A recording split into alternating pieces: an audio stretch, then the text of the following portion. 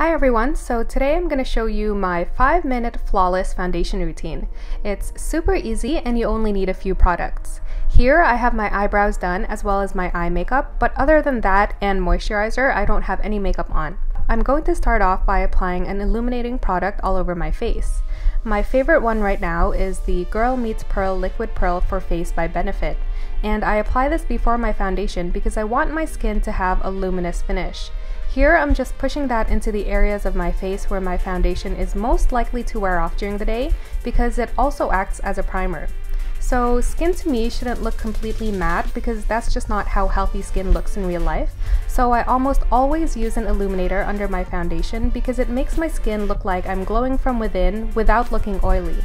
So speaking of foundation, today I'm using the Sonia Kashuk Perfecting Luminous Foundation in the shade 01 Bisque, and I'm just dotting that all over my face to make the blending process easier.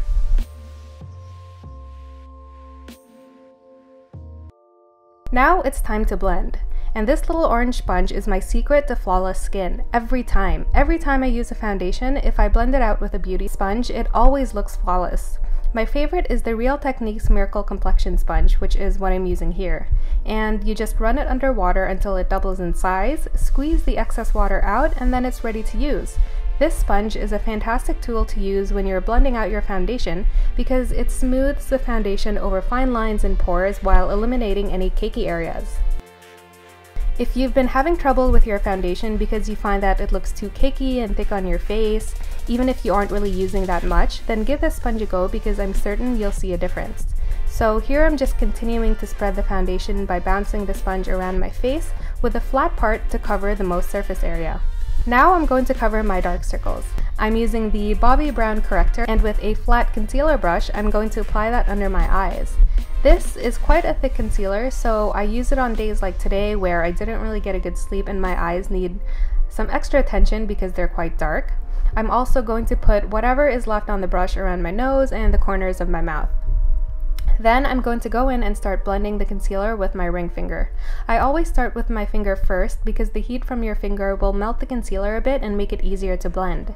And I'm sure you've heard this a thousand times, but the best finger to use when dealing with the areas around your eyes is your ring finger because it's the gentlest of all your fingers.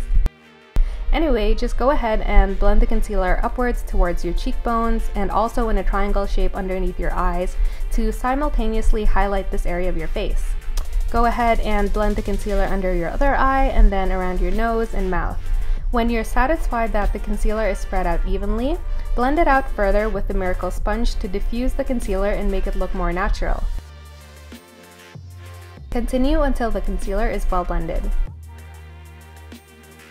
The final step is powder. Today I'm using the Maybelline Fit Me Poreless Powder, but you can use your favorite. With a fluffy brush, pick up some of the powder and gently pat that onto the areas that you've applied concealer on, and only on those areas, otherwise you might end up looking a bit cakey. Also, try not to sweep the brush across your face because you might disturb the concealer underneath. So that's it for my flawless foundation routine. Easy, right?